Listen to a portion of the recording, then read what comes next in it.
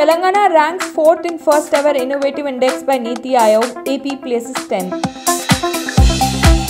Pedestrian dies in Hyderabad after being hit by a police vehicle. Kohli led RCB first IPL team to have women support staff. New special investigations team on land scams in Vizag may bring trouble for TDP. J&K Security of fruit traders increased after apple traders' death.